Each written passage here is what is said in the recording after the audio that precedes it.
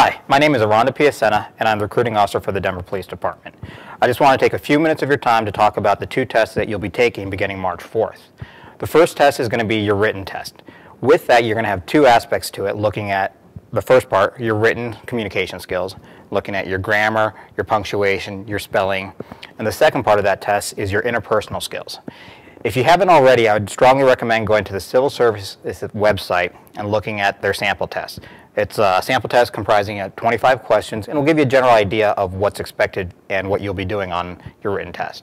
Another option you can do is go to any of your local bookstores and purchasing a police officer exam guide. These are about $15 or so, but they have roughly seven different written tests that you can practice with. But they're a great way to get your mindset and get your mind geared towards how you're going to take your test and what we're looking for. The second aspect of your test is going to be your video situational. And what that will comprise of is a series of videos that will pause in between and are going to are geared towards judging uh, how you would react to certain situations. For instance, you'll have uh, two officers walking up to a domestic violence with people arguing, and as you're walk walking up, you're gonna the video will freeze, and at that time you'll be presented with four different options on how you'd respond to that. Again, this is geared towards looking at your judgment and how you score on this is going to carry forth in your testing process on how you, you rank from there. So definitely spend some time preparing, uh, looking at everyday situations on how you would react to that. You know, whether you're just driving down the street and say, okay, what would I do with this? At least you'll start to get your mindset towards uh, getting ready for this test. if you pass these two tests and you score well, then you'll be pulled forward towards the physical agility test. And that's going to be the next thing um, that you're going to be looking at. There is a sample of the physical agility test on the Civil Service website. I'd strongly recommend you looking at that as well. The two things that people have issues with are usually the fence and the window. The fence is going to be a chain link fence six feet off the ground and you need to be able to run up to it and jump over or climb over it in any manner, but you just need to get over that fence.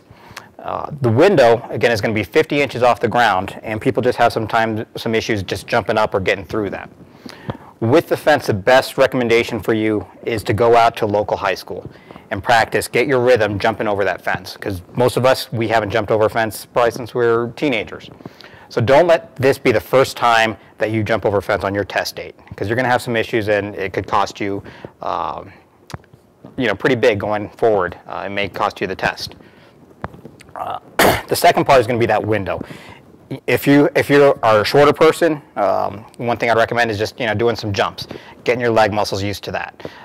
You know, because again, we're not used to doing those things, so you need to go out there and practice. And one thing I do really want to stress to you guys is that no matter how many times I tell this to people, there, we will have people show up, and this will be the first time they've done this. If this is what you want to do, you know, make sure you go forward and do that. If you're coming up on the on the test date and this is the first time you've jumped over a fence, you really need to look at your determination and how much effort you're willing to put forward in this testing process. Uh, this job is not going to be a nine to five job. It, is, it takes a lot of commitment, takes a lot of work. You're going to be joining an institution that has 125 plus year history. Within that time frame, we've had amazing officers come through this job, some who've sacrificed their lives to be in their line of duty. And so that's what you're going to be coming towards. And when you start doing your application process, getting ready for this test, start asking yourself, what am I going to do? What am I going to bring to this department? Um, you know, we're going to look at all those things. What have you done to prepare yourself for this job? Do you have the commitment to be a part of our organization? You're going to miss, you know, you start off from patrol. So you're going to miss your holidays. You're going to be working overnights. And that's just part of the job. And eventually, as your seniority goes up, you're going to be able to get some of the better spots and positions. But again, this is where you start off. And do you have that determination to be a part of that? Uh, you know, that's just the best thing I can give towards you guys. Go out on some ride-alongs. Go with Denver, Lakewood, Aurora, uh, a couple of counties, Jefferson County, Arapahoe County, Douglas County. Get an idea of what this job is going to be about. When you go through your background investigation, they're going to ask you, again, what have you done to, pre pre to prepare yourself for this job? And at least you'll have a good answer or a good starting point for that. Uh, again, I just wanted to take a few minutes of your time and get you guys, uh, give you guys an idea of what you're going to be uh, doing on Monday, March 4th, uh, with the written tests. And if you have any questions during this time, you can always get a hold of me. Uh, my number is 720-913-3395 or by email at eranda period P-I-Y-A-S-E-N-A